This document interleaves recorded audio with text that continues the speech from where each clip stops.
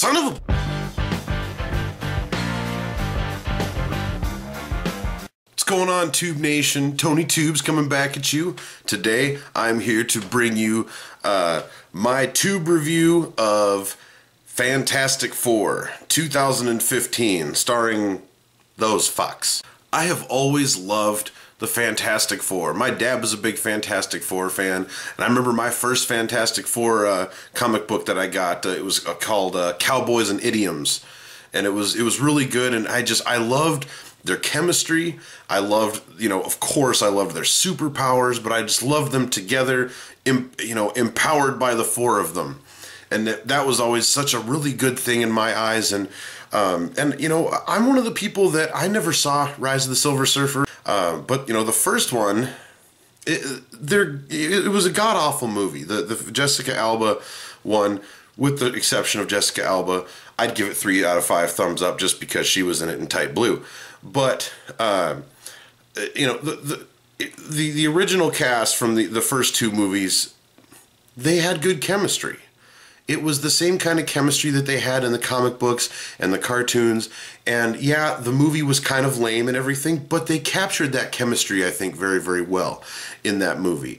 Um, and like I said, I, I thoroughly enjoyed Jessica Alba. I thought the guy playing Reed Richards in the original one was really good, and I thought that Chris Evans did a really good job. Chris Evans, when he first started out doing that um, and doing uh, Sunshine and stuff like that, he was he played a really good cocky little shit and he was the perfect kind of cocky for Johnny Storm. So I I kind of liked that movie. I, I didn't I didn't see Silver Surfer, and I probably should. So I liked the the original Fantastic Four for what it is, and I and I'm ex- I was excited when I first uh, heard about this movie coming out because I was sitting there thinking, you know, they're going to reboot it, and you know maybe it won't be awful, maybe it'll be a really cool. Um, you know, take on it and everything, and maybe maybe they'll just be able to do it right this time, and and uh, you know, regardless of the naysayers and everything, I, I, like Michael B. Jordan. I think he's I think he's a pretty pretty good up and coming actor, and I really I mean one of the reasons why I was actually really kind of excited about this movie was because I enjoyed Chronicle thoroughly. I really liked Chronicle, and so um, that gave me a little bit of hope for this movie, a little bit, a little bit. So here are the ten things that I think sucked about Fantastic Four 2015 not starring Jessica Alba. And caution, there might be a little bit of spoilers in here. Toasty! So, uh, Reed Richards and Ben Grimm are at the science fair and they're doing this, and they have uh, you know the um, uh, transporter, I guess you could say, at the uh, the science fair and everything, and and they they almost blow up the whole school and everything like that. And then the the the teacher comes over, he's like, "That's not science," and it's like, dude, even if it wouldn't have done what it would have done, and that blue light would have come up and stuff like that. That would have been like, hey, you made light. You're golden, bro. But no, uh, all of a sudden, you know, they're there, and this this scientist and his daughter, his genius daughter, just happen to be trolling this high school science fair. Where the hell do they come from? Why are they trolling the high school science fair? Like seriously, are they so hard up and they're they've hit such a wall that they're like, well, we haven't really uh, met anybody from Harvard or Stanford or anywhere, so we might as well go to a high school science fair and see what we can find, young Susan. No, man, what? What? Toasty! At times when there's actual like like like physical artist music in the uh, in the movie and not just like soundtrack score, it was very distracting and awful. Like there was the uh, the semi Fast and the Furious car scene with uh, with uh, Johnny Storm, and the music behind it was just terrible. And I'm like just sitting there, kind of thinking to myself, whoever the composer is for this, or whoever edited the sound for this, or whoever, I, I would you know, okay, this is good, man. But th- this scene right here, come on, dude. Really? What the hell is that music? What is that music? I mean, what was that? Was that playing in the car, or did you add that later? Like, it was just it's terrible, man. And that is honestly not something that I think that anybody in their right mind would listen to in a car in like a car drag racing sequence. Toasty. Usually, when you meet uh, villains you know, before they become villains, you like them sort of. There's that little bit of you that kind of likes them. You know, look at Jack Nicholson as as as uh, uh, Jack Napier in the original Batman '89. You know, look at even Jim Carrey as before he became the Riddler and stuff. But you know, you see all these bad people and and you you kind of like them before you know they have some sort of a redeeming quality. In some way you kind of like them. But doom was just just an asshole for the sake of being an asshole. He was just evil for the sake of being evil. There was no reason why he was mad. They never really glanced upon that at all. They never touched upon that. And it was just he was just evil for the sake of evil. And he was just a douchebag from the word go and so it was just kind of like, okay, so you're the quintessential, typical, stable bad guy. Okay, bro. What exactly is Johnny Storm doing at the lab? You know, he gets in trouble for drag racing and by the cops, and then he gets in trouble by Daddy, and Daddy threatens to cut him off if he doesn't uh, if he doesn't come with him right now. And and you're gonna come and work for me now is what he says and and all of a sudden he's just like okay and he just goes and all of a sudden he's just typing on a computer and and and really i mean what if he never got in the drag race and never got in trouble by the law did they really need him what was he doing there and then all of a sudden they're like oh it worked and he's like oh yeah and I'm like, what are you typing? There's nothing. It worked. Everybody's cheering and you're typing. What are you doing, dude? He didn't need to be there at all. There was no purpose for him to be there than just to appease daddy.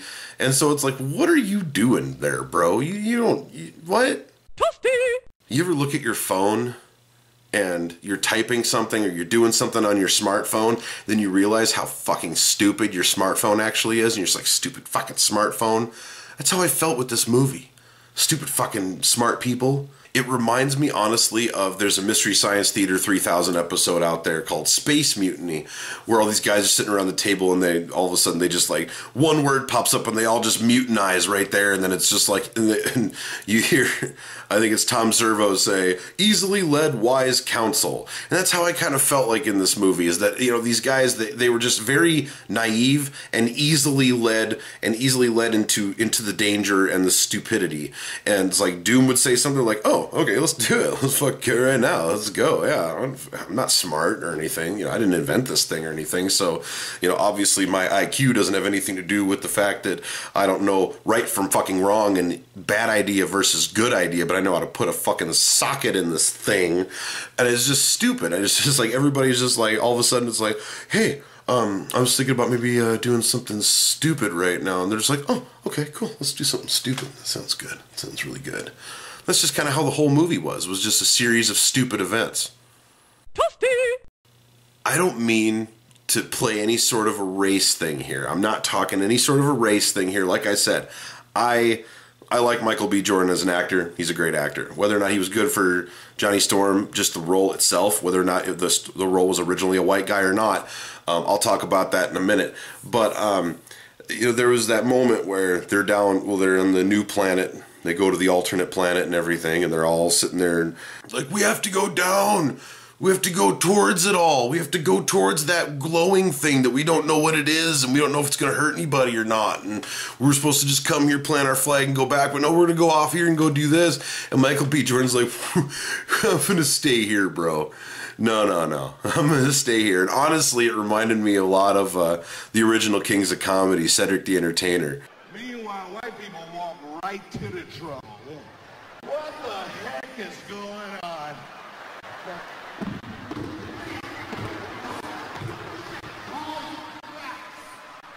Why didn't anybody tell me? That's what it reminded me of, and it was just, it was really, really funny that there's just like, we're just gonna go right over here and he's just like, look that man, I ain't going nowhere. And it's it was funny, but it was still just kind of fucking stupid. Johnny Storm is you know the cocky one you know. Well you know him and ben kind of go off on each other as as being who can be the cocky one and everything and that's in the comics.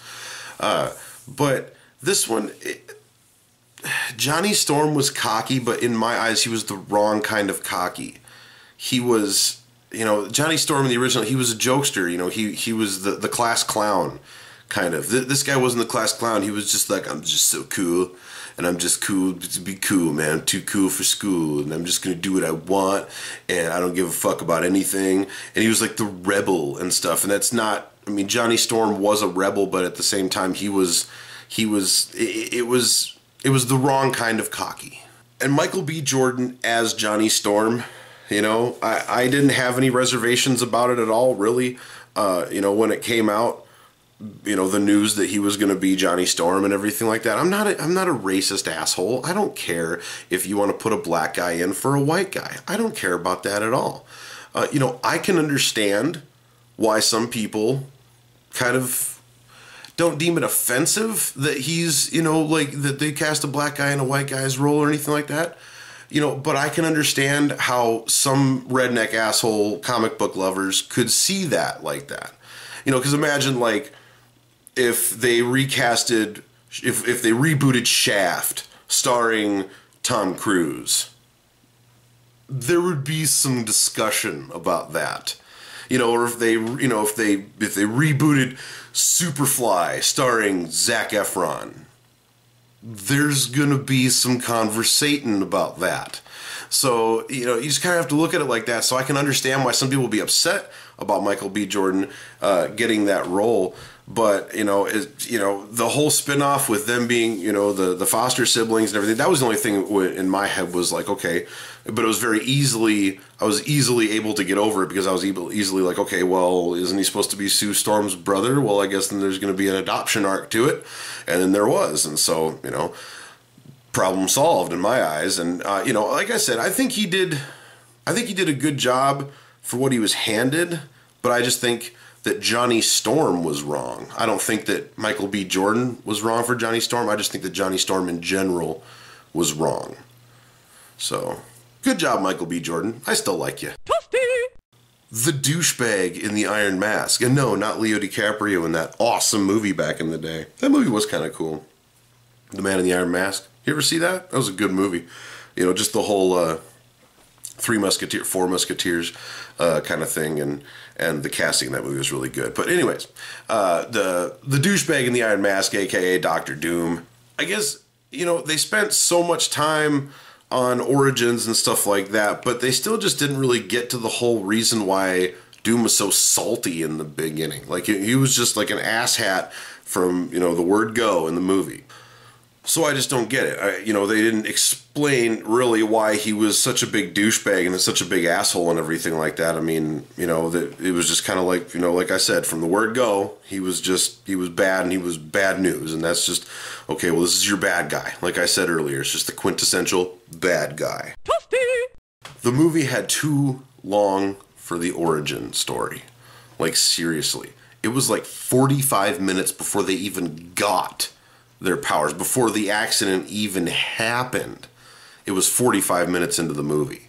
And then it was another 10 minutes before you even really get to see any live action stuff. And that was one of the cool things that I liked about it. That I, I liked kind of the, you know, when they get into the accident up until it says, you know, one year later, uh, basically there's this scene in there where Reed Richards wakes up and he's all stretched out on this gurney and he, he's all groggy and stuff like that, but he's stretched, you know, and this is the first time you see him as, you know, Mr. Fantastic, you know, with the stretching capability. And I thought that was kind of cool that he kind of woke up and he was just, you know, like, what the fuck? And, and then he squirmed his, squirmed his way out of it and everything and then went crawling through the vents and, and, uh, and you see, you know, Ben Grimm in there as the thing and, and and just like you know johnny don't leave or uh, you know reed don't leave me and everything and it, that was a really cool scene. You know like i've said before i can find cool things in shitty movies and that was that was kind of a cool thing when they first initially kind of woke up and kind of realized what was going on and and you know michael b. Jordan's just like laying on the table just on fire and his dad's just like watching his son burn in front of him not knowing what really what's going on and stuff and uh, the invisible woman as she can turn invisible Okay. Is that all you can do? I don't know. I thought that was kind of a cool thing, but in my eyes, the, the origin story was just too long for the movie. But honestly, I mean, even after the whole 45 minute origin story, you still don't know a lot about these people. You know, there's you still really don't care about them at all. And so I just think it was kind of a waste of all that time, and I think they could have just had like a flashback sequence at the very beginning of the movie during the credits, even of what happened to them and what happened to Doom and and everything. And I mean, it was just so long, and so I it's and that leads me up into my next point. Toasty. The movie was I, don't want to say that you know I, I wish I could have seen a three hour version of it but if they did release something like that I would definitely watch it because I just think that they crammed so much into the origins and everything and then at the end all of a sudden it was just like hurry up and have a bad guy and hurry up and let's let's fight and show some powers and then we're then we're done. And it was it was very abrupt at the end. It's like oh okay uh, here we go. Well here's the you know they have to battle this dude and everything and and and it was just it was very very it was very very long but at the same time didn't didn't fulfill me as much as it could have and I think I would have liked to have seen more between the origins shit and the whole the the lead up to the battle with Doom. And the battle with Doom was really really weak and I just thought that you know I, I was hoping for at least some really kick-ass fight scenes, and it really they just really didn't deliver that at all. Even. Um, you know because like even Terminator Genisys, there was you know there was some cool Terminator beatdowns and stuff that were kind of cool to watch, but with this one it was just there there was really nothing great about it. And it was just a very dull take on a really cool story uh, or a really cool, you know, you know, comic book. But I just think honestly, they could have done it with the same actors, and they could have done it the same way. But I think they should have hopped on uh, the television series train. They should have hopped on that train with this movie and they should have made it into a series. And that way they could have explored a little bit more for us and they could have shown a little bit more and and and given us a little bit more as fans. Uh, but still I still don't think that the movie had the same chemistry and humor between the characters that I would, I would like to have seen. And that's why I think that stretching it out a little bit, it would have made us, uh, it would have given them the opportunity to explore that aspect of it too. Because that was one of my favorite aspects of it was, you know, the fact that Ben Grimm and Johnny Storm just like hated each other and they were always like just, just giving each other shit. And, and that was always really cool. And, and, you know, that, that's one of the things that I liked about, about the uh, the Jessica Alba Fantastic Four, besides the fact that Jessica Alba's hot little cute ass was in it, but was the fact that I, I, I think that they captured the chemistry very well. And in this movie, they, they didn't capture that chemistry whatsoever. There wasn't that love between uh, between Reed Richards and Sue. There wasn't the the anti love between uh, the Thing and the Human Torch. And I, I just I missed that. And I think that if they would have if they would have taken this and put it into a series we would have seen something spectacular and they could have done the same thing with the same people but stretched it out and given us a little bit more so you know, they, hell, I mean, you know, the first two episodes could have uh, could have cleared out the origins, and then they would have had you know ten more episodes they could have done, you know, to you know leading up to the battle with Doom, and then they could have done the Doom battle really really well because I'm sure that they were pressed for time and shit with the whole origin story. So I just think that they should have done a TV series out of it, and they should have Daredevil, Arrowed, Gotham, flashed it up because those shows are doing great. And so I think that you know Netflix and stuff like that. That's the future. Honestly, the the movie theater is going to be a thing of the past. It's it's a, an endangered species right now, and and Netflix is the uh, is the dominant. So it's you know they have you know they have to realize that, and I think that they could have done something cool with that. So you know I have to give this movie a very very sad, very very sad two out of five tube thumbs up. It was not terrible. I think it had a lot of potential and I think it still does have a lot of potential if they were to expand it a little bit more, like I said, into maybe a, even a TV series after this, and and and give us a little bit more of those characters. Um, you know, so I'm gonna give it, you know, like I said, a really sad two out of five tube thumbs up. You know, it wasn't as bad as Terminator Genisys, so you know, uh, hey, good job for that. But I mean, that's not really an accomplishment. But you know, I, I like the Fantastic Four. I, I still have high hopes for the Fantastic Four. So, you know, hopefully the future of the Fantastic Four isn't dead after this movie, and I hope that they can find some way to save it for me and for my dad and people like us that actually, you know, grew up loving the Fantastic Four. So, Thanks for tuning in. My name's Tubes once again. Please check me out on Completely Unoriginal. It's a podcast that we do out of DakotaBroadcasting.com in Aberdeen, South Dakota. Couple really good guys named Adam St. Paul and Kurt Campbell. And there's a link in the description below for that. Be sure to check me out this coming Thursday, uh, August 13th, 2015. I'm going to be emceeing the uh, music, the 18th annual musicians reunion going out at the uh, the Brown County Fair in Aberdeen, South Dakota, and it's going to be really good. I'm, I'm putting the whole thing on, and there's going to be some really special stuff going on that night, and uh, a lot of old friends getting back together after 20 some years of not playing together. Musicians getting back together and playing. It's going to be a really really good time, and there's a special surprise uh, around sundown. But that starts at six uh, with a band from Redfield here called Terror We Fall and uh, they are going to open up. You know, give about 45 minutes to an hour open, and uh, and then uh, the older guys will get up and, and start jamming on that good time rock and roll and stuff. Uh, so that's going to be a lot of fun. So come and check me out there. It goes from 6 to 1 o'clock in the morning, 6 p.m. to 1 o'clock in the morning. It's great food, great tunes. It's probably the cheapest food you'll find at the fair.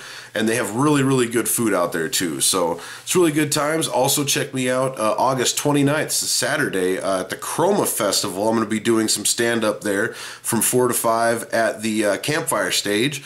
And so, yeah, come and check me out there and be doing some stand up. Uh, and that's at Richmond Lake in the northeastern South Dakota region by Aberdeen. And uh, yeah, a couple days of uh, good tunes and good people and lots of crazy hippies running around doing crazy hippie shit. And I'm going to try to write some crazy hippie jokes for it. So, um, you guys have a good one. Thank you very much for watching Tube Review. Once again, this is the Tube Review of Fantastic Four 2015, not starring Jessica Alba. But thank you very much for watching. Please like, subscribe, share, comment, do all that stuff. And I'll see you guys next week with uh, Avengers Age of Ultron Tube Review.